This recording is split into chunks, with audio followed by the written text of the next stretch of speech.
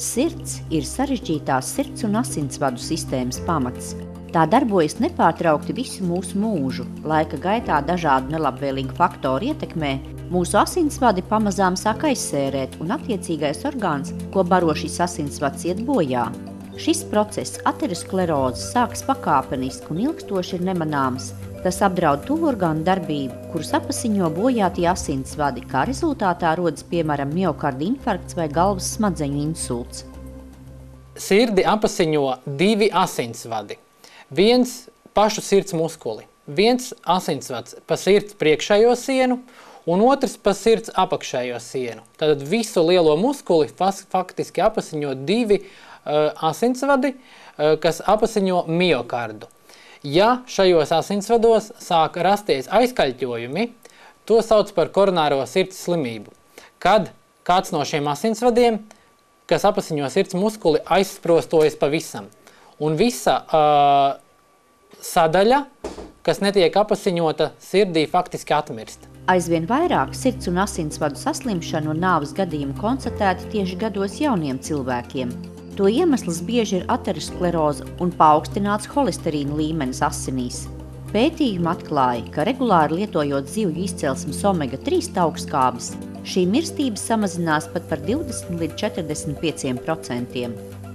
Kā numur viens uh, pacientiem es iesaku omega-3 augstskābes.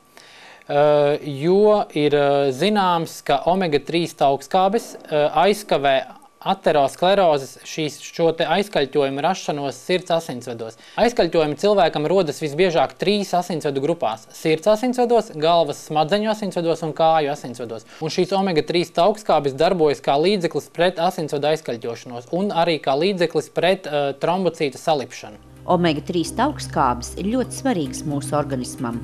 Tās atrodas katras mūsu šūnas membrānā, Polinepiesātinātās taukskābes, līdzīgi kā vitamīnus un minerālvielas, organisms pats nespēj sintezēt, un tāpēc tās ir jāuzņem ar uzturu. Šīs taukskābes ir neaizvietojamas un vitāli nepieciešamas normālai organisma augšanai un funkcionēšanai.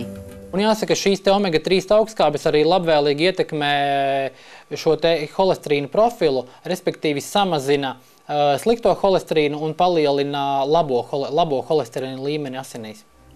Sirds asinsvadu veselību ietekmē ne tikai dzīvesveids un ģenētika, bet arī cilvēka emocionālais stāvoklis.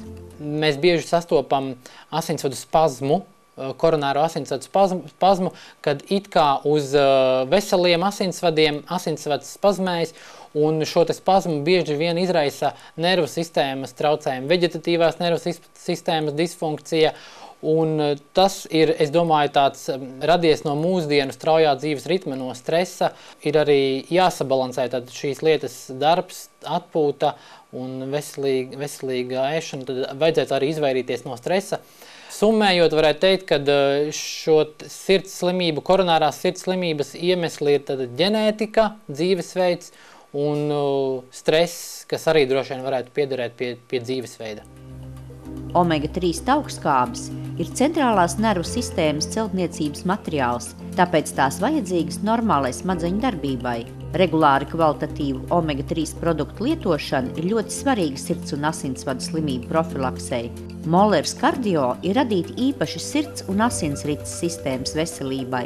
Molers kardio satur unikālu no savaļas zivīm iegūto omega-3 un augu augstskābju kombināciju.